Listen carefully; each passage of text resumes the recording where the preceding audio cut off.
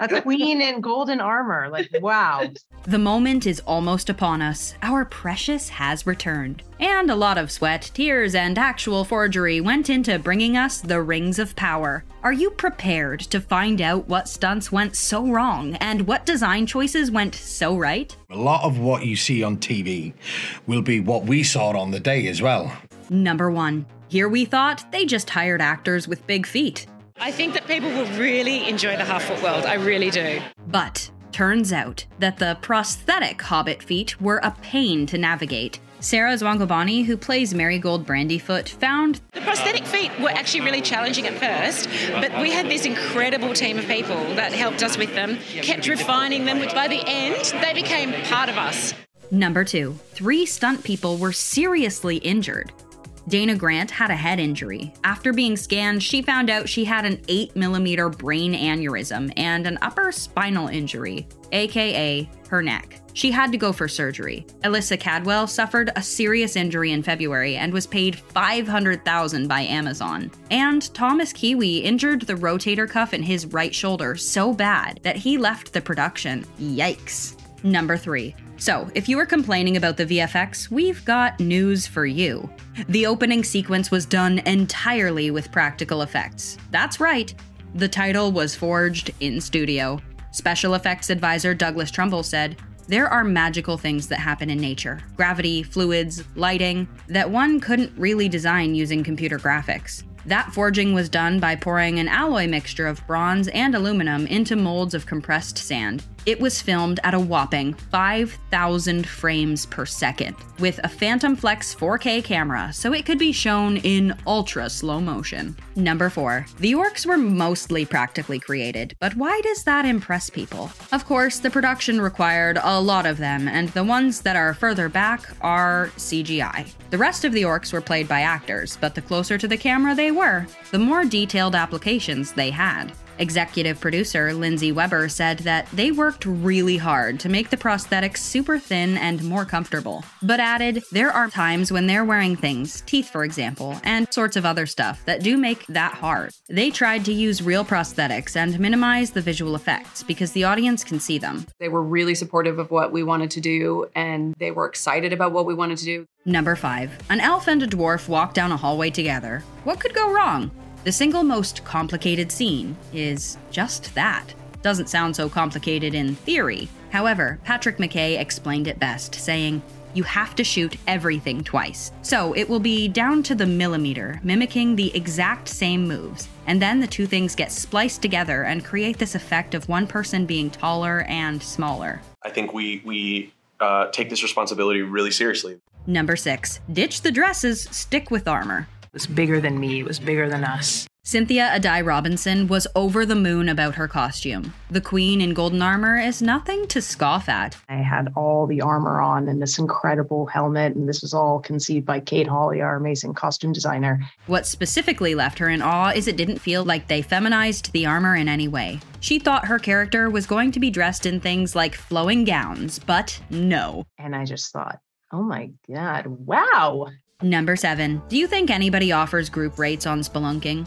The original idea for the underground dwarf realm was to have it set under a mountain in New Zealand. However, once they factored in the hundreds of crew who would have to go spelunking just to get there, the danger and the expense were enough to have them film on a soundstage and create the set from scratch. Number 8. Despite their bragging about practical effects, a ton of CGI was used. So the show isn't entirely without its VFX, of course. And places you may find it is when you get into stunts and action, including the things humans just physically can't pull off. The prosthetic beasts and creatures needed further advancements in slight ways as well. Really built as much as they could so that we could actually react off physical sets. And despite their claim that not many VFX were used, 9,500 were. That's more than the original Lord of the Rings trilogy and the Hobbit movies combined.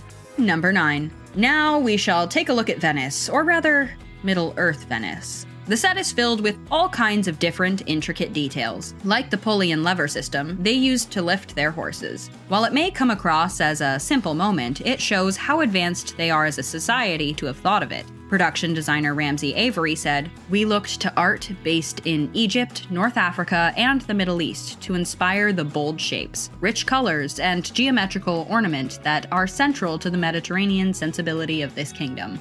Another particularly important influence was Venice, Italy, thanks to one comment made by Tolkien. I just got back from Numenor. I mean, Venice. Number 10. We aren't talking dragon scales here.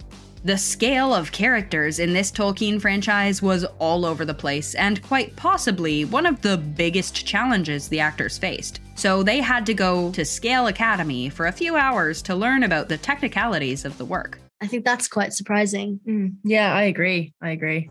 Number 11. These boats are actually sailable.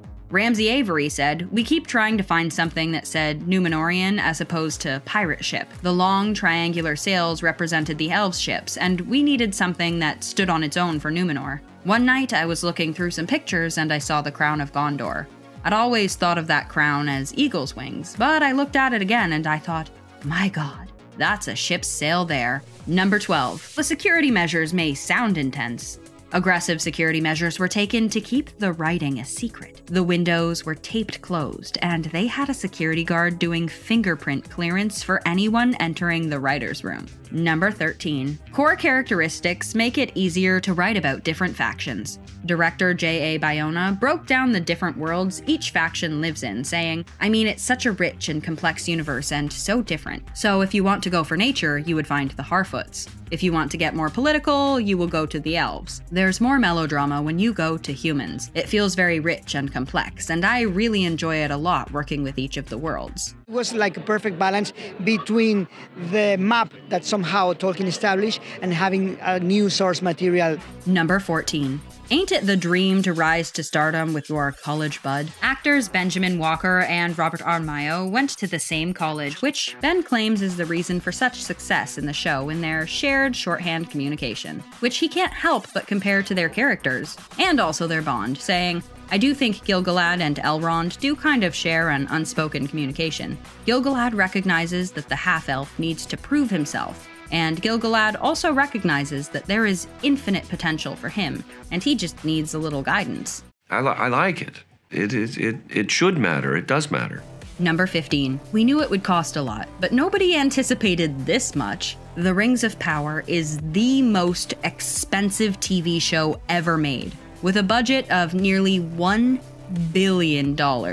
We wonder if that's before or after the half a million payout to Cadwell. Amazon beat out Netflix in the bidding war for the rights at 250 million. Good people doing good work in a great show, and it, it's really gratifying. The Rings of Power has huge shoes to fill. Are you excited about the new Tolkien spin off, or are you worried it won't live up to expectations? Let us know in the comments, and thanks for hanging out with us here at The Things.